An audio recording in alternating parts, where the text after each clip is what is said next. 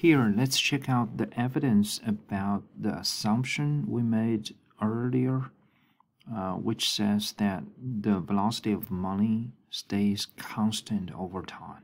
Okay, as we said before, when we put the velocity of money on the same chart with nominal GDP and money supply, because the other two variables fluctuate or um, grows a lot.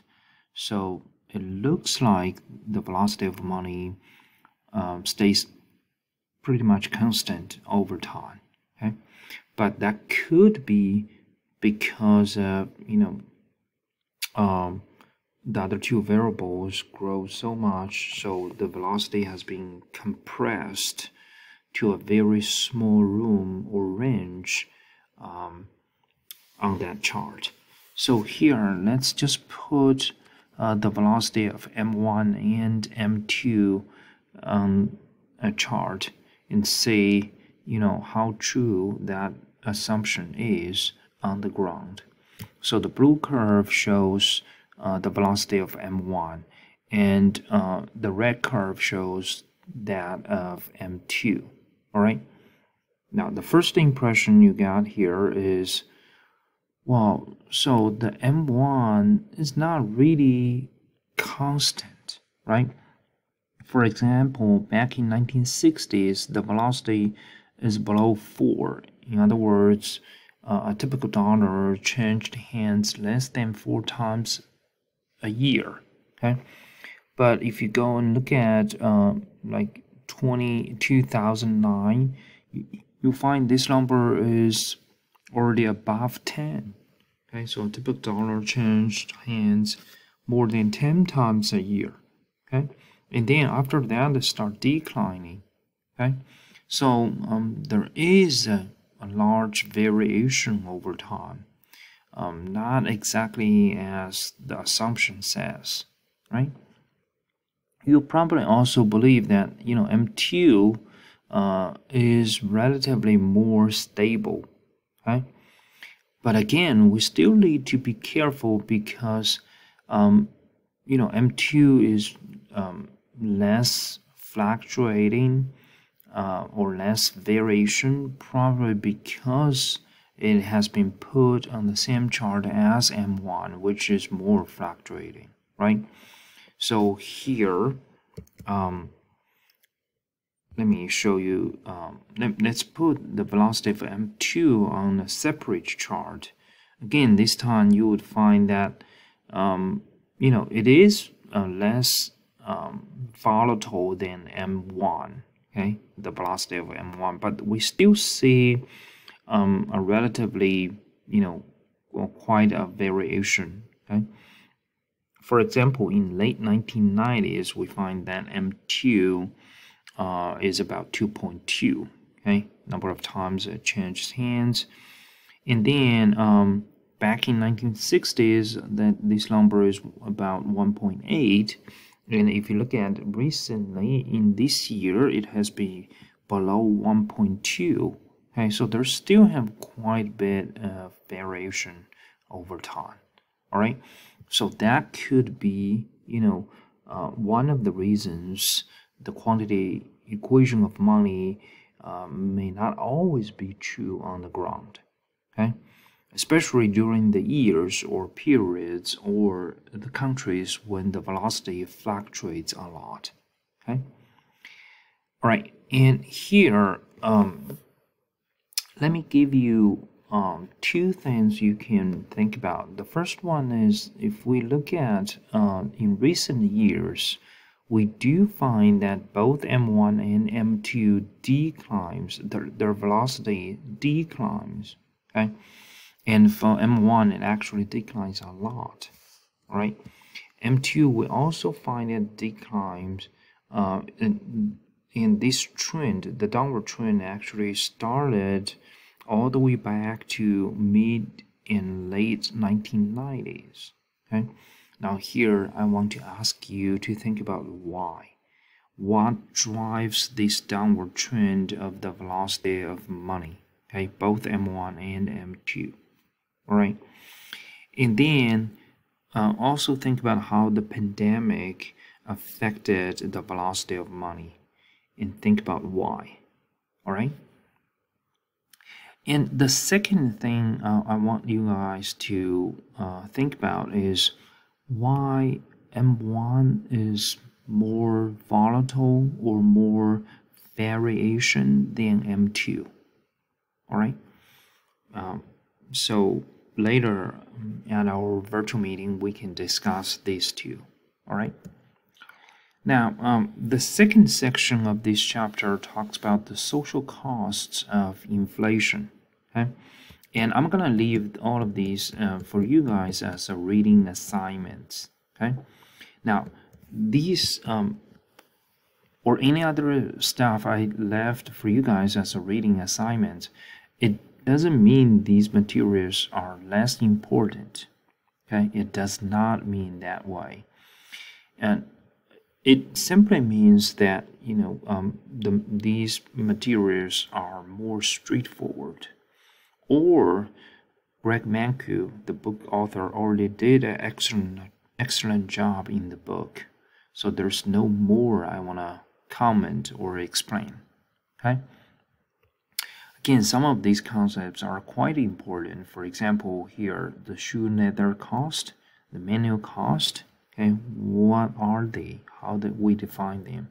Why these are um, the concerns a, an economist would have about inflation.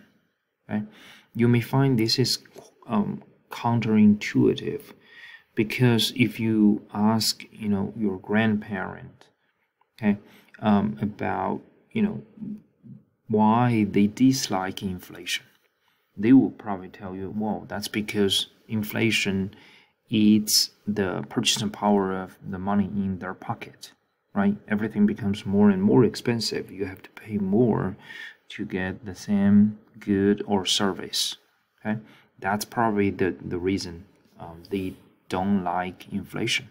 However, that's not the reason an economist dislikes inflation. Okay, we actually believe that if you know everything's price changed properly, um, proportionally, then um, that argument the general public believes or perceives is not true. Okay or it's not that detrimental because when we say every price um, goes up proportionally that includes the wage or the wage rates right so as i said before you know if um, in the morning when you wake up you find that you know the cup of coffee becomes twice as expensive as yesterday right? Um, these apps you want to download on your uh, cell phone also you know becomes twice as more expensive.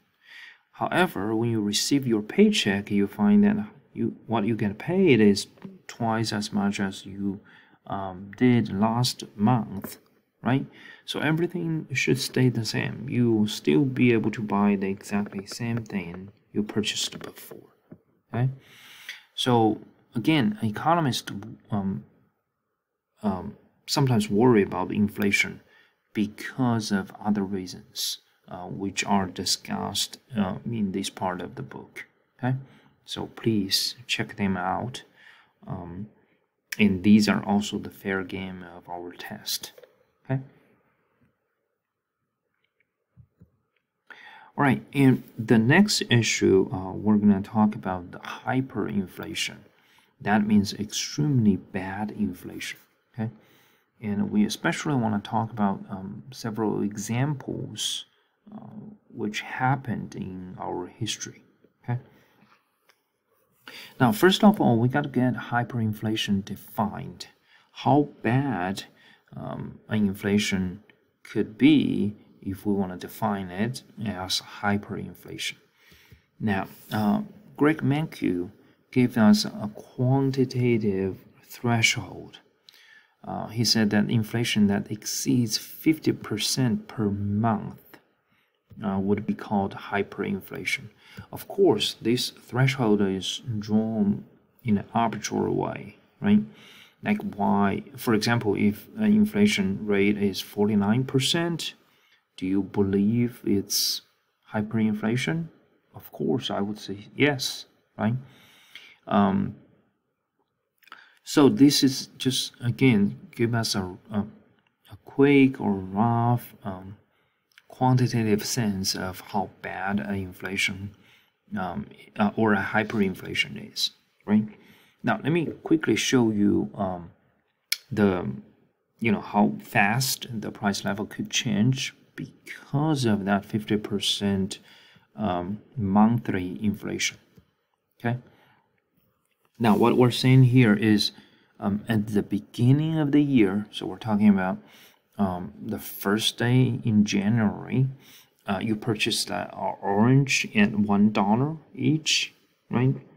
Now, because of the 50% um, monthly inflation rate, by the end of January, you have to spend $1.50 to buy the exactly same orange, right?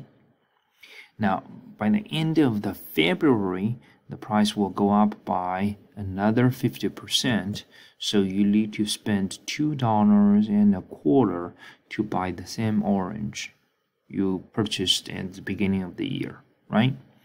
Now, by the end of the March, that price is going to be $3.38. By the end of the June, $11.42. By the end of the August, $25.70. By the end of the year, you need $130.13 to buy the same orange you purchased at the beginning of the year with only one dollar. Okay? So once again the overall price level increased uh, more than 130 times uh, in a year. Okay? So this tells us how bad hyperinflation could be all right? Now on the next video we're gonna talk about two real world examples of hyperinflation that happened in our history okay? And um, through that we will discuss the causes of hyperinflation